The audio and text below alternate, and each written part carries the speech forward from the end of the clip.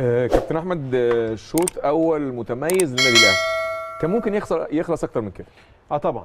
اللي ميز الشوط الأول للنادي الأهلي هو فرض شخصية النادي الأهلي. هي دي شخصية النادي الأهلي اللي اعتدنا عليها. من صح. بداية اللقاء ضغط في كل مكان آه بتسلم وتستلم بشكل كويس جدا. عندك هدف عندك الرغبة في المكسب بانت من بداية اللقاء. يعني ال ال ال كل التكهنات ما قبل الماتش كانت بتقول إن الأهلي المستوى وأقل ومباراة النصر والمباراة اللي قبليها والنادي الأهلي مستوى قليل. ولكن في وقت ال- الماتشات المهمة.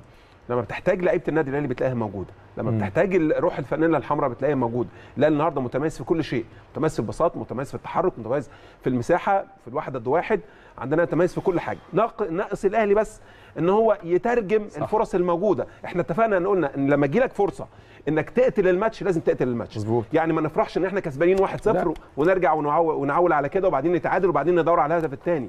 لازم تدور على الهدف الثاني والثالث والرابع لو قدرت طالما الفرص متاحة. نادي الزمالك زي ما اتفقنا عنده نقاط ضعف كتيرة جدا جدا النهارده في المباراة. أهمها طرفين صح. وحارس المرمى. حارس المرمى النهارده الشوطين اللي راحوا عليه بهدفين. صح. لو في تصويب تاني من شريف أو من مجدي قفشة أو من السولية ويقدروا يعملوها ممكن نسجل أهداف تاني صح. فأنا بشوف الأهلي شوط متميز جدا. لا يرتقي ان هو يكون ديربي. الأهلي فقط هو اللي بيلعب هو اللي موجود الشوط الأول في أرض الملعب. صحيح.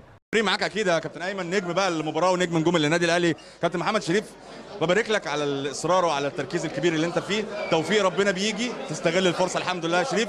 ودي يمكن دي نقطة مهمة جدا معاك. حابب تقول النهارده على الهدفين الأول وعلى الأداء الكبير مع لعيبة النادي الأهلي؟ آه، طبعا بسم الله الرحمن الرحيم. طبعا إحنا بنلعب على المكسب. آه، مبسوط جدا إن إحنا بنحقق 3 بونت. يمكن إحنا ما حققناش بطولة بس ده ماتش من ضمن ماتشات الدوري. ف...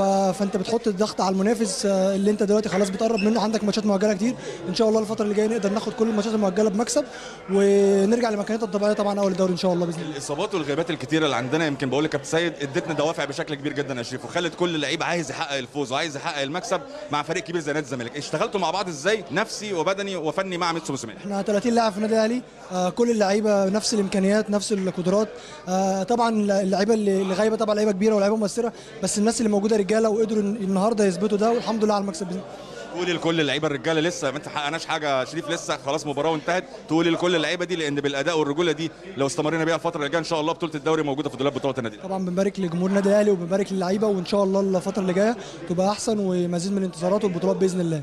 حبيبي الله يخليك. حبيبي وبنبارك أكيد لمحمد شريف وكل نجوم النادي الأهلي أكيد يا كابتن أيمن مجهود كبير ومجهود رائع ومميز جدا. لحظات وهتنتهي الفرحة خلاص. هنبدأ نفكر في المباراة القادمة ونبدأ نفكر في مشوار بطولة الدوري. العام هم دول لعيبة النادي الأهلي وهم دول رجالة النادي الأهلي. يا رب إن شاء الله بإذن الله. يحافظ على كل اللعيبة دي من الإصابات وتبدأ الإصابات كمان ترجع من جديد للنادي الأهلي. عندنا عدد كبير يا كابتن أيمن الفترة اللي فاتت يعني إصابات حدث ولا حرج طبعا زي ما إحنا عارفين لكن مع تدرج الوقت إن شاء الله بإذن الله عدد كبير يرجع لنا وعدد يخش كمان تدريجيا في المباراة. ده المهم وده اللي إحنا بنتمناه. فرحة أكيد هتاخد وقتها زي ما بنقول ثم بعد كده ننتقل بكل دوافعنا وبكل آه، كبريائنا الكبير وكبرياء النادي الأهلي في التحضير للمباريات القادمة. زي ما إحنا عارفين الفترة اللي جاية مهمة جدا وده اللي إحنا بنأكد عليه. يا رب إن شاء الله القادم يكون أفضل للنادي الاهلي. عودة ليك من جديد والكابتن ايمن شوقي.